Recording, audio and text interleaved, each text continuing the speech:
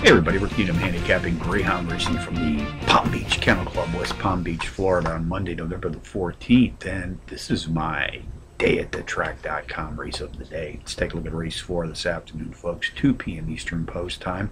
This is a grade TA affair, and these pups are sprinting a short 301 yards I use a fantastic software product called QuickDog to help me analyze greyhound racing. Software product has helped me isolate a power pup to put on top of my multiple entry contenders list. And on this entry today, number four, Kentucky Ashley, I'll make a one place and show wager. I also like to play the boxed exotics here at Palm Beach, so along with number four today, I'll be boxing number six RK's Mixology, number one KCK Candy Bar, and number three Go Bon Purely. 4613 for your exotics in race 4. QuickDog software has helped me isolate a pair of very playable power pup long shots. I suggest win place and show waitress on both of these entries. First comes in race 2, win place and show in a 5 to 1 shot. Number 5, Go Go Athena.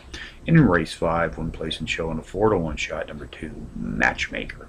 So from Palm Beach on a Monday, Rick Needham for dayatthetrack.com reminding you as always to please bet with your head not over it.